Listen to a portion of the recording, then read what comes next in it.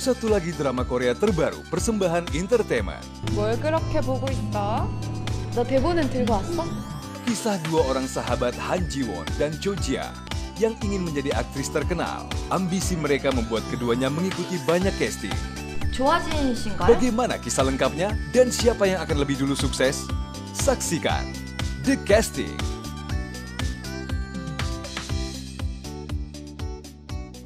Di Entertainment.